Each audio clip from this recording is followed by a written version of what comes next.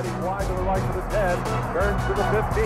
Down to the 20. 25, 30, 35, 40. Right sideline into the 50. To the 45. Goodbye. He is gone. It was just one of those moments where the team needed something to, to energize them, and uh, I was just fortunate enough that I was able to do that. Dozier, 10, 5, touchdown, Penn State. Pitt had guys like Tony Siragusa, and they had guys um, like Burt Grossman, and Dozier and Thomas just ripped them apart. The Penn State Nittany Lions, for the second consecutive season, are undefeated during the regular season with a mark of 11.